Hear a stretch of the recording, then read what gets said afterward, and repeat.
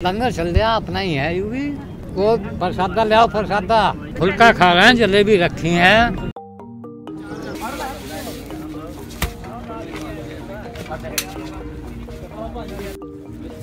सुबह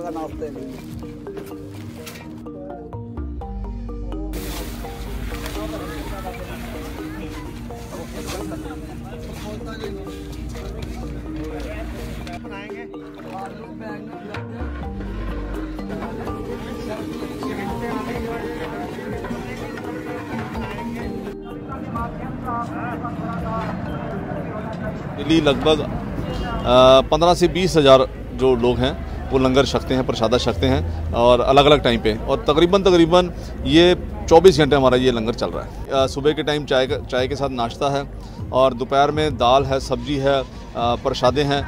जो हमारे प्रसादे हैं, जिसको रोटी बोलते हैं, ये हमारे आज भी बंगला साहब गुरुद्वारे से बन के आते हैं।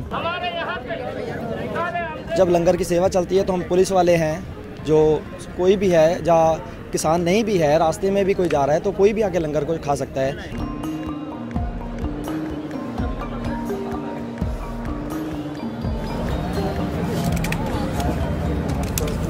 कॉमन कोल्ड हो गया फ्लू हो गया गैस्ट्राइटिक्स हो गया, और डायरिया वगैरह के पेशेंट ज़्यादा आ रहे हैं यहाँ पर। डेली सौ पेशेंट एवरेज आ रहे हैं। कोल्ड वाले ज़्यादा आ रहे हैं कोल्ड के हो गए डायरिया के हो गया गैस्ट्राइटिक्स हो गए।